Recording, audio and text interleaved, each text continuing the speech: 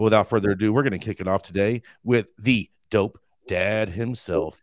That's right, Rico Lamitte. When he is not out in the streets house hunting. You can find him gang banging with the internet cartel at his own crib right now, and that's why he's having to have to move. That's right. It is the dope dad himself, Rico. So my story today is coming from uh, marijuana moment, and it is congressional bill punishing illegal marijuana grows aims to protect consumers from pesticides. Sponsors say. So nothing brings Republicans and Democrats together like an opportunity to lay down a little prohibitionist law and order. In an effort to fool the American people into believing they actually work while they're on the clock, a bipartisan duo of California congressional lawmakers have filed, uh, refiled a bill to combat illicit cannabis grows on federal lands. Move they say is intended to protect consumer health, uh, consumers' health from banned pesticides used in unregulated cultivation.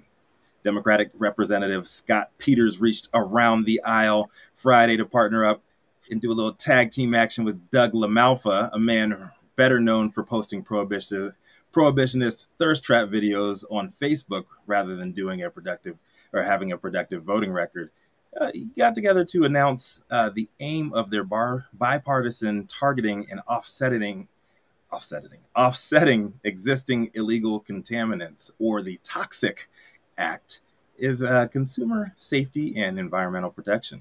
In a statement, Peters said no buyer should be unknowingly consuming marijuana contaminated by dangerous banned pesticides.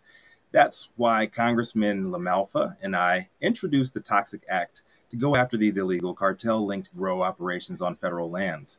The effects go well beyond the end user, endangering multiple species and posing, and posing a threat to the forest service agents who are tasked with cleaning up these lands.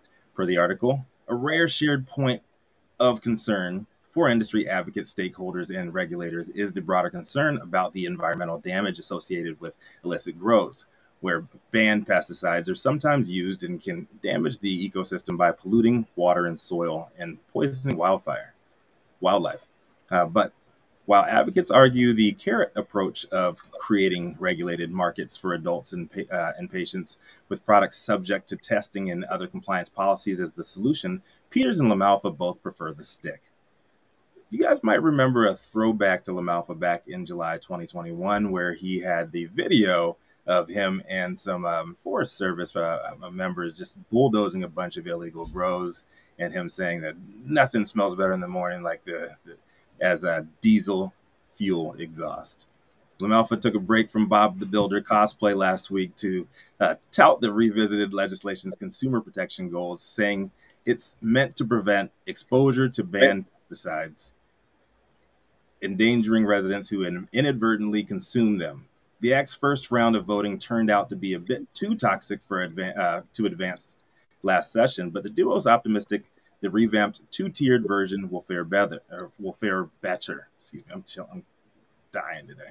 Uh, the bill will provide up to 250 million in funding for the U.S. Forest Service over five years uh, to remediate areas where they say banned pesticides were used for illegal cannabis cultivation and also increase criminal penalties for people who have used these prohibited chemicals, charging offenders as they would smugglers, with maximum penalties of up to $250,000 in fines and up to 20 years in prison.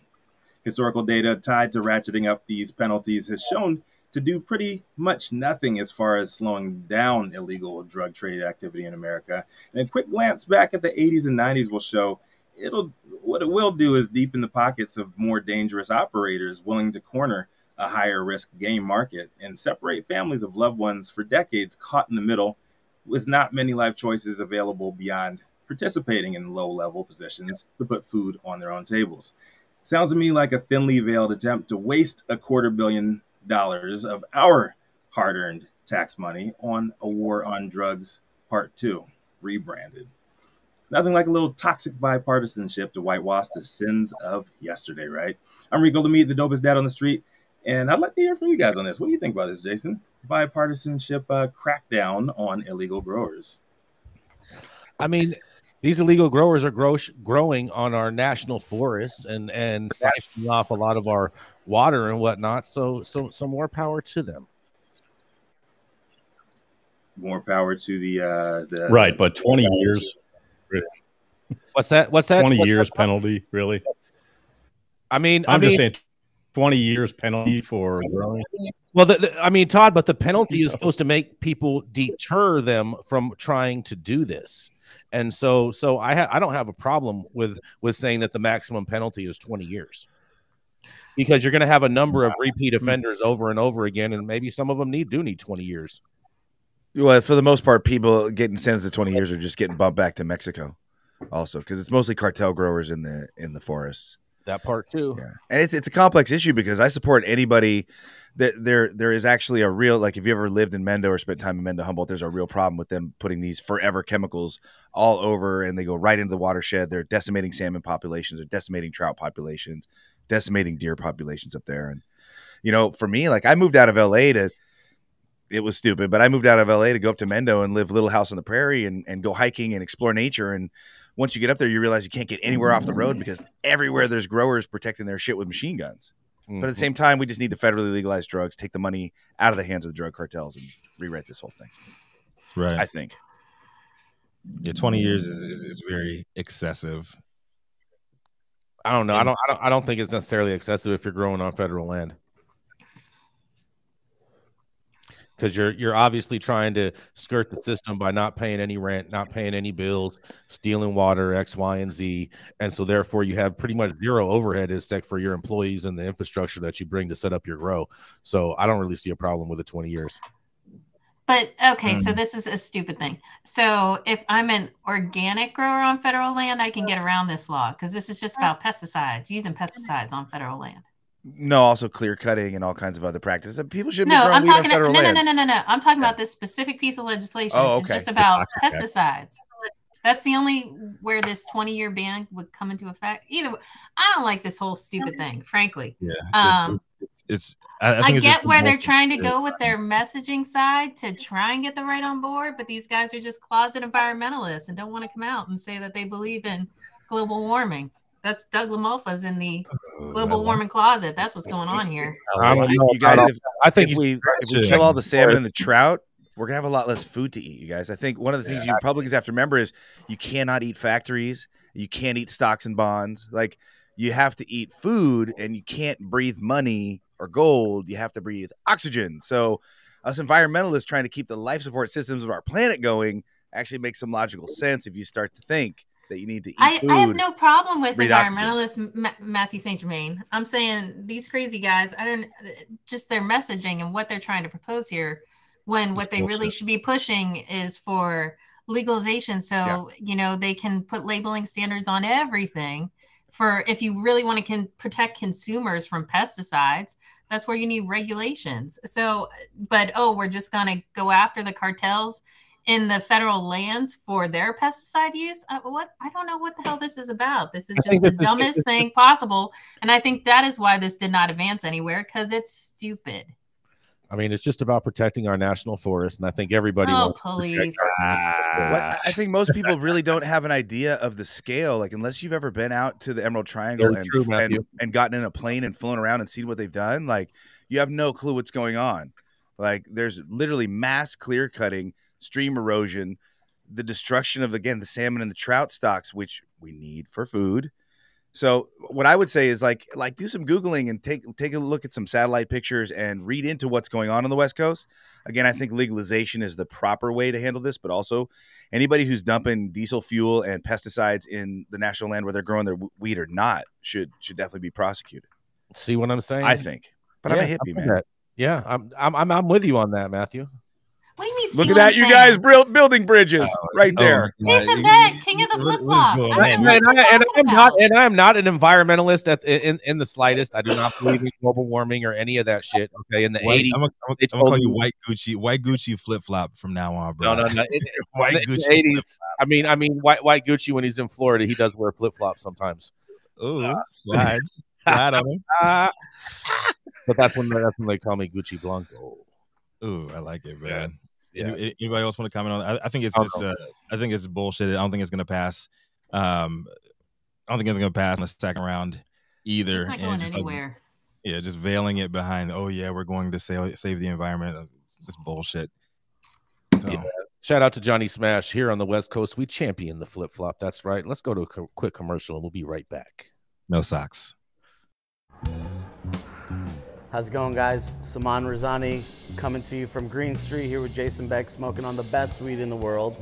Did you know that we have an audio only version of our podcast available on Apple, Google, Amazon, iHeartRadio, and Spotify? Tune in now and check it out.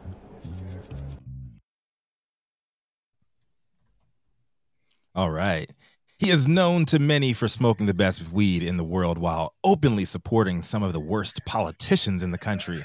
But hey, it's all best. green at the end of the day. Up next, you know who it is, is Jason Beck.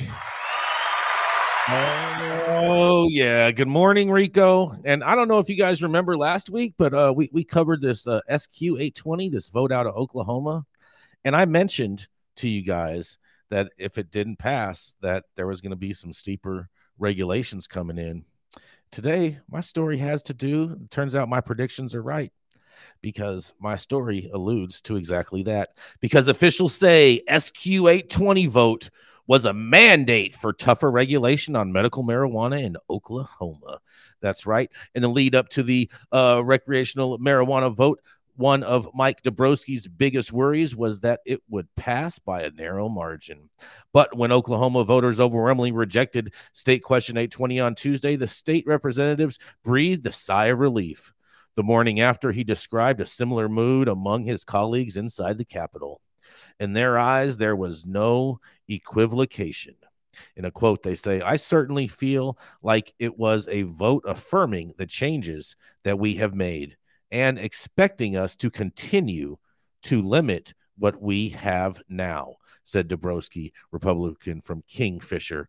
And he also says, it definitely was a mandate against any expansion.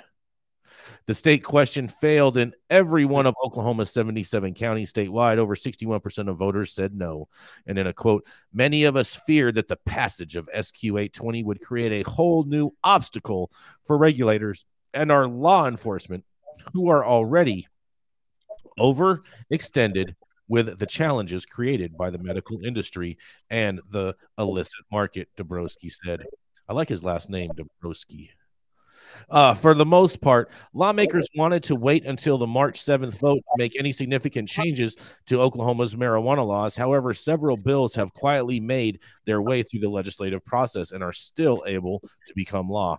Some of those bills would put limits on THC potency, require a qualifying medical condition for medical marijuana patients under 18, and allow cities to ad- adopt zoning restrictions on cannabis businesses, close loopholes to prevent illegal uh, Ill- illegal land ownership, and require doctors who recommend medical marijuana to complete specific training. Oklahoma is a better place for this state state question failing, said State Senator Jessica Garvin, Republican from Duncan. I think the overwhelming results are also a clear sign that Oklahomans are not happy with the current medical marijuana program and want it to be reformed. That is why this session I have introduced a number of bills that will close loopholes in illegality activity, further protect children, and make the program a true medical marijuana program, not recreational marijuana light, which it is now, she says.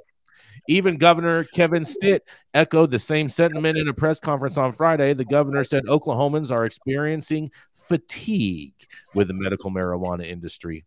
The quote, I don't think anybody expected it to be defeated that bad, but as I was traveling the state, I knew Oklahomans didn't want it, Stitt said. They were so tired of a dispensary on every single corner so clearly. We don't want a recreational, and I think there's an appetite to tighten up the medical side as well. The governor said Oklahomans have a big heart and that if marijuana helps medically patients, then they should be able to participate in the program. But we don't believe that anybody with a hangnail should be able to get a medical marijuana card, Stitt said. A prominent advocate of the medical marijuana industry, however, says uh, that the state officials are misreading voters' intentions. In a quote, it's the program that we have that people are happy with. they don't want to change it, said Jed Green, director of Oklahomans for Responsible Cannabis Action. In a quote, if the governor and legislature uh, goes in and makes the mistakes with this misread and they push for limiting conditions or restricting telemedicine and taking access away, the knee jerk reaction is going to be another adult use bill, they says. Green criticized the regulation and the tax structure in SQ 820, saying that with a better proposal, there are enough votes in Oklahoma to adopt a recreational marijuana bill. And the best thing they can do is just to let this uh, let this thing settle down, let enforcement agencies catch up, and let this thing stabilize. He said, if they go in and if they look to limit individual access, that will be the the the trigger that will pass adult use in the state because then everyone has something to lose.